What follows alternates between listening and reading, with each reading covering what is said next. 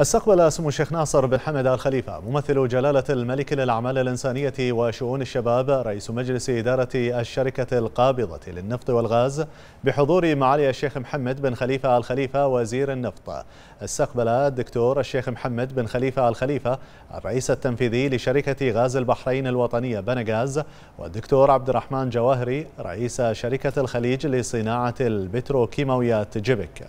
وخلال اللقاء أشاد سمو الشيخ ناصر بن حمد آل خليفة بجهود شركتي بنغاز وجبك في قطاع الغاز في المملكة في ظل التاريخ العريق الذي تمتلكه الشركتين والممتدة لسنوات طويلة في هذا المجال. وتسهمان بشكل فعال في تواصل جهودهما الرامية لتطوير قطاع الغاز انطلاقا من رؤية حضرة صاحب الجلالة الملك حمد بن عيسى آل خليفة عاهل البلاد المفدى حفظه الله وتطلعات صاحب السمو الملكي الأمير سلمان بن حمد آل خليفة ولي العهد رئيس مجلس الوزراء حفظه الله في المساهمة في تحقيق رؤية البحرين الاقتصادية 2030 وأشار سمو الشيخ ناصر بن حمد أن المملكة تسعى على الدوام لتعزيز مكانتها التنافسية وتوسيع شراكتها الاقتصادية عبر العديد من المشاريع التطويرية بما يحفز البيئة الاستثمارية ومواصلة تحقيق المنجزات على صعيد قطاع النفط والغاز. والسعي الدائم لمواصلة اكتشاف كميات من الغاز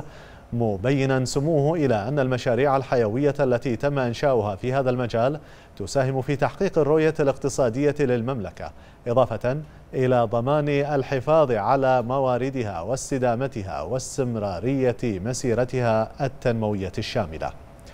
وأوضح سمو الشيخ ناصر بن حمد إلى أهمية توفير المزيد من الفرص الاستثمارية في قطاع النفط والغاز والبتروكيماويات في ظل التقدم الذي تحققه المملكة في تنفيذ المشاريع الحيوية. موضحا سموه أن قطاع النفط والغاز في المملكة يشهد تقدما كبيرا بفضل الابتكارات التقنية وتوظيف التكنولوجيا الحديثة في هذا المجال.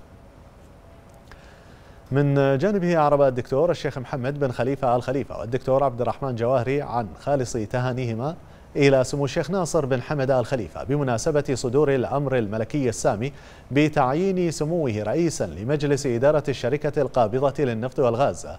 مبينين إلى أن رؤية سموها التطويرية سوف تساهم في مواصلة مسيرة ومكانة البحرين في قطاع النفط والغاز. موضحين أن الشركتين سوف تمضيان في زيادة إنتاجية قطاع الغاز ورفع مستوى الأداء فيهما والذي سيعود بالنفع على الاقتصاد في المملكة.